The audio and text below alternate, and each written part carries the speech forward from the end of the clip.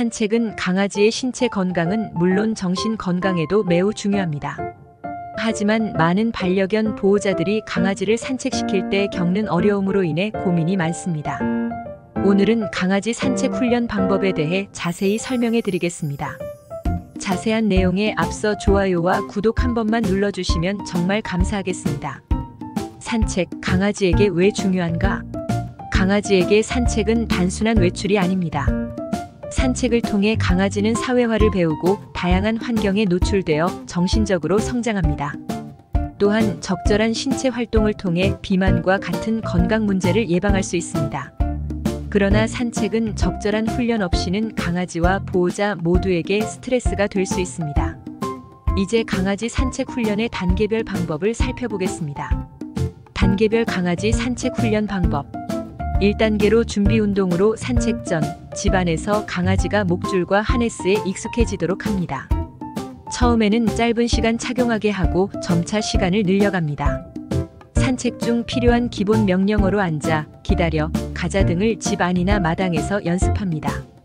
2단계로 처음에는 집 앞이나 가까운 공원 등 짧은 거리로 산책을 시작합니다. 강아지가 새로운 환경에 서서히 적응할 수 있도록 합니다. 산책 중 강아지가 원하는 행동을 했을 때 칭찬이나 간식으로 보상합니다. 이는 긍정적인 산책 경험을 만드는 데 중요합니다. 3단계로 강아지가 앞서가려고 하면 멈추고 강아지가 주의를 돌릴 때까지 기다립니다. 주의가 돌아왔을 때 칭찬하고 다시 걷기 시작합니다. 다른 사람이나 동물을 보고 짖거나 공격적인 행동을 보일 때는 침착하게 명령어를 사용하여 진정시킵니다. 필요하다면 전문가의 도움을 받는 것도 좋습니다. 4단계로 점차적으로 도전하기. 강아지가 산책 훈련에 익숙해지면 점차적으로 다양한 환경과 상황에 노출시켜 적응력을 키워줍니다. 다양한 장소, 다른 사람들, 다른 동물들과의 만남 등을 통해 강아지의 사회화 능력을 향상시킬 수 있습니다. 강아지 산책 훈련은 하루아침에 이루어지지 않습니다. 지속적인 관심과 인내, 그리고 일관된 훈련 방법이 필요합니다. 또한 강아지의 개별적인 성격과 특성을 이해하고 이에 맞는 접근 방법을 취하는 것이 중요합니다.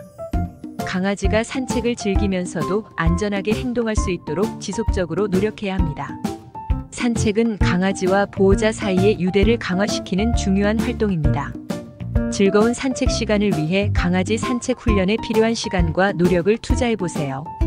시간이 지남에 따라 강아지의 행동 변화를 목격하고 더욱 행복하고 건강한 반려 생활을 누릴 수 있을 것입니다. 영상이 도움이 되셨다면 구독, 좋아요, 댓글 부탁드립니다. 좋은 하루 보내세요. 감사합니다.